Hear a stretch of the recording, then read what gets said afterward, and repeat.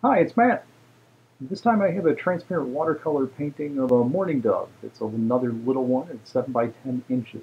Um, this one is vertical, which doesn't necessarily lend itself as well to the horizontal format on YouTube, but it allows us to see a little bit more of the mixing of colors in the original reference material. So we'll do the best we can.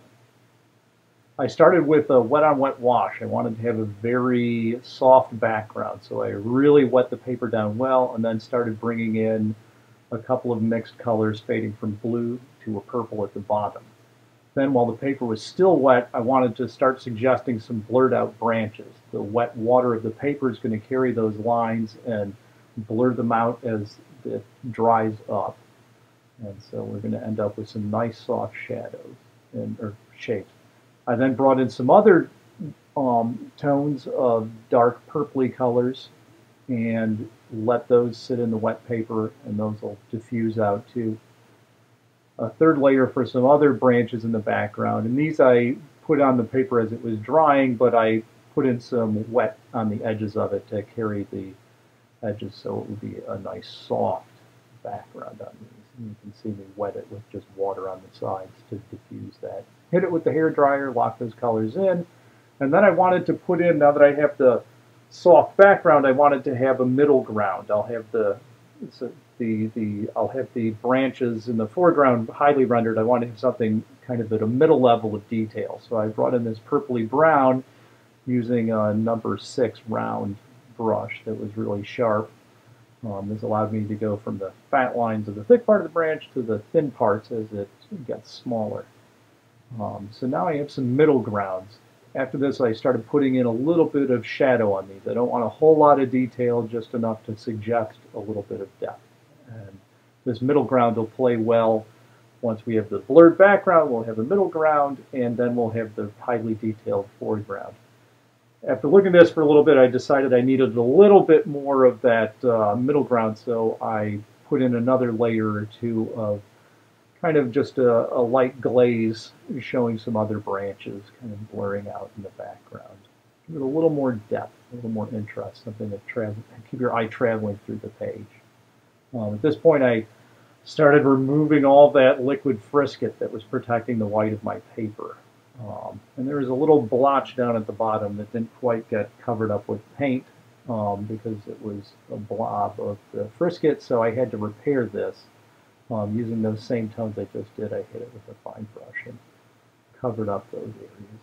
I needed to take the white of the paper and transfer the rest of the sketch onto the page. And so I used tracing paper and then a folding bone to uh, burnish those lines back onto the paper. So now I had a good uh, map to go from. Like always, I started putting in a wash of my lightest local color. And so I started with the branches with the nice warmish brown, and I covered all those areas. I'll leave the white of the snow alone um, because I want to have that as high contrast. And then I started putting in the lightest local colors of the bird, a nice sandy brown and the, the darker gray brown of the back. And so now I had basically the whole thing covered, the main local colors, and I can start worrying about picking in the details and building up more um, color and realistic um, patterns as I went. Started putting in the shadows of the snow, and you can see to the right on the palette, I'm using glazes and I'm using very transparent um, pigments. I'm not working opaquely at this point at all trying to build in a lot of those, uh, those, those, darker colors a little bit at a time, which will build some of the realistic textures. Second set of glazes on the mourning dove. And you can see a little bit that in the original painting, or, or the original photograph that I had, I took that in the backyard. The mourning dove is you know, in a snowy environment, but it's it's all kind of muted browns and grays. I wanted to push this in a different direction when I did the painting. So I made my background with lots of cool colors. And then my foreground elements, my bird, my branches are going to have a lot of warm elements. Those warm elements against those cold are really going to help the painting pop off the page. And because we've got the cool background, the warm foreground, it should really build uh, a nice uh, difference in, in tone that'll help pop. Um, at this point, I started putting in some blues, which would be the reflected sky color, into the shadow areas of the snow. And for this, I was using mostly, it was a little bit of cerulean blue and a lot of phthalo blue. More darks underneath the edges of that, the snow. That'll help the snow look white, help the branch look like it's both wet and shaded from the snow and carrying those tones over. For the branch, I used a lot of a lot of yellowy oranges for the top part of it and some purpley colors for the shadow areas. Um, here I'm using a, a, magnifying glass, so you kind of lost the good view um, for that. I put the camera off to the side so I could actually see what I was doing instead of the camera more little details. I switched brushes back and now I'm using the number two, um, bringing in some of those warm colors. This will help that pop against that nice cool background. Um, with the bird, I'm trying to establish some of those nice warm orangey tan colors um, using purples and blues for the uh, shadow areas.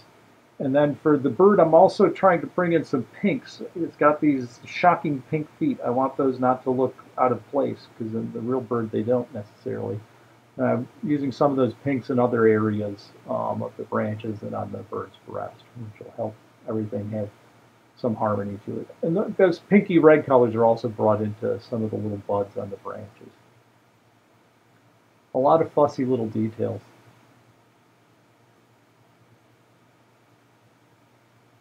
Many layers and you can see I, am not using my pigments very um, opaquely. They're still very transparent glazes, lots of layers. Um, this is typically how I'm mixing colors on the white of the butcher's tray. That allows me to mix the colors well. It doesn't, the butcher's trays don't stain like some of the plastic ones because they're enameled the uh, plastic ones sometimes stain with the phthalos, the phthalo blue, phthalo green, and then it's hard to match your colors off of those. The butcher's trays come perfectly clean, and you're always balancing off a perfect white of the tray versus the perfect white of the paper. So I definitely would suggest using those. Great tools. Again, bringing in some shadow details, using mostly uh, phthalo blue and uh, maybe a little cerulean and a little purple sometimes in the deepest shadow areas of the snow. I want the snow to look really white and sometimes bringing in those reflected blues of what the sky would be like builds a nice, uh, a nice color and gives your eyes a lot to look at while still reading as a three-dimensional shape instead of just white. Lots of sharp details. I think I switched to a, uh, a small 5-aught brush for this stuff. Um, and back to the number 2. The sharp number 2 rounds hold a lot more pigment, so they're actually, if, it, if it's really sharp, you can get a fine line and then cover a lot more territory without having to reload the brush. So I really like uh, number 2 for doing these fine areas of detail.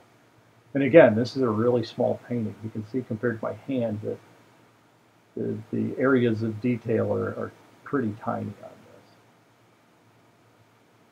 on Here's another side view, so I'm using the magnifier to do the details on the eyes and a little bit on the beak and the feet. Um, so you lost the good view, I needed to see what I was doing. Better you'd only see the magnifier. Um, so here you can see the painting um, in the middle, and then on the left I've got the, the original photo that I took, and on the right the palette where we're mixing stuff up. I changed the, the pose of the bird a lot when I was doing this.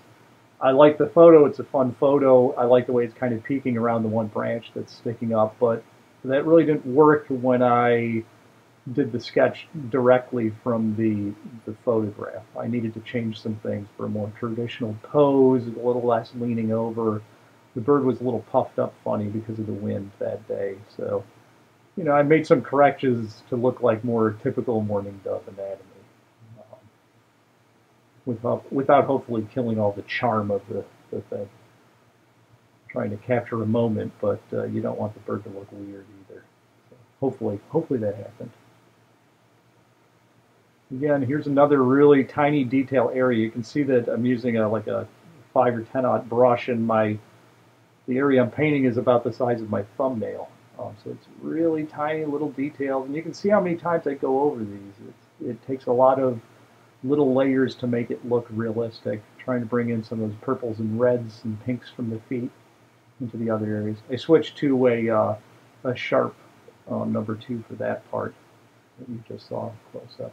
And here I am just about wrapping it up and working on fussy little details on the wings and getting some little um, details on the flight feathers. Blotting off a couple of little over paints and things like that. Pretty much done. Put my name on it. We're, we're there. We're done. That was the painting. 7 by 10 inches, Mourning Dove.